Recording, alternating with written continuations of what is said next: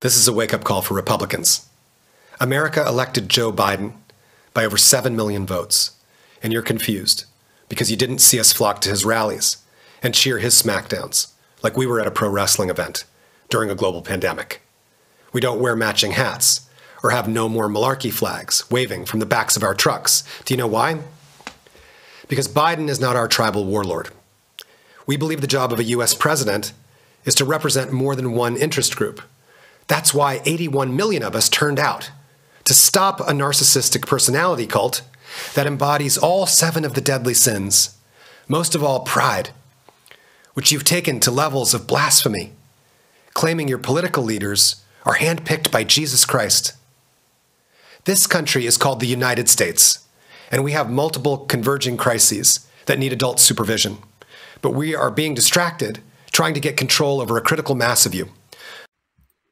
Well, hello, and welcome to the People's Stimulus Check and Stimulus Package Update as of January 20th, 2021. Today's been a great day because we have a new president that says he's going to do a lot for the American people and for his country. And let's actually see what happens in that one, right? As we expected, Donald Trump decided to actually uh, be childish and leave the White House before Biden showed up and also, you know, be more childish by not attending his uh, successor's inauguration like most other presidents do. Trump has done a lot of things that other presidents and first ladies haven't done that they just been like tradition that he's been breaking.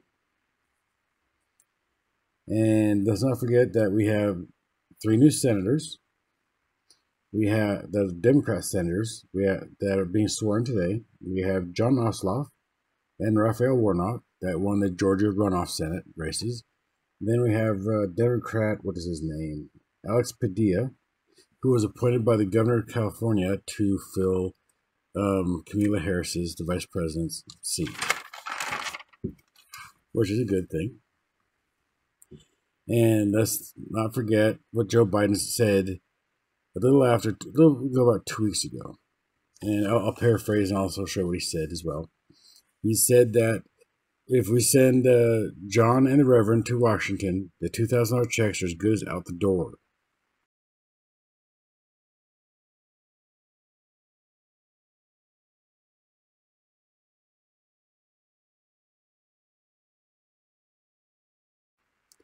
I say we hold them to that, don't you?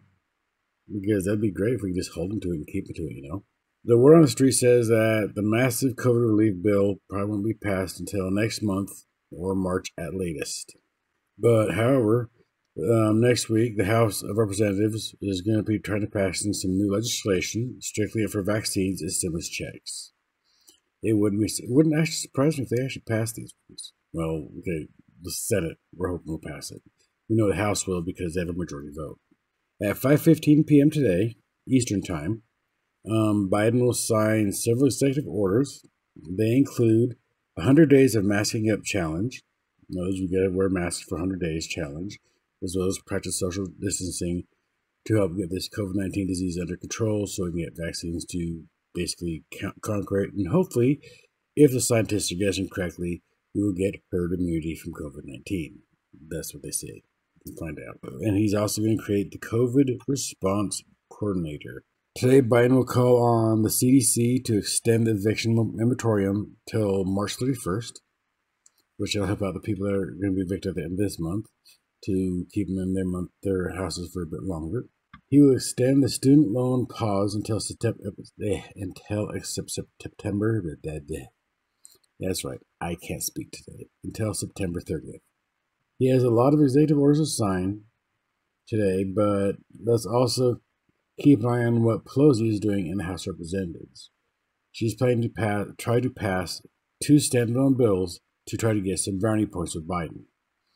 These two standalone bills are basically for the vaccine distribute eh, and to distribute the vaccine. Sorry about that one, as well as for stimulus checks. Let's see if those bills actually pass. We know they're going to pass in the House because, as I said, this is most Democratic, but just because the Senate is now run by Democrats This is now a division of power because you have 50 50 for both Senate and uh, for Democrats and Republicans. So we'll see how that works, even though uh, Kamala Harris is the vice president of the Senate. So we'll see how that goes. I mean, if they pass the $2,000 check one, that'd be great because that'd put more money in people's pockets.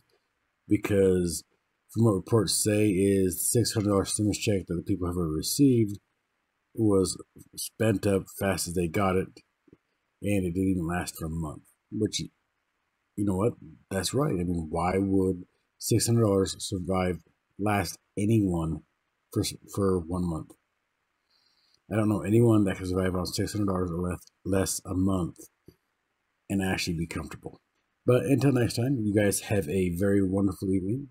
And I hope you guys watch the inauguration.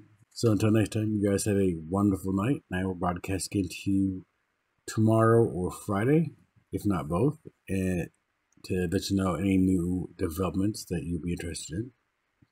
You guys have a wonderful night, and I will broadcast again to you later.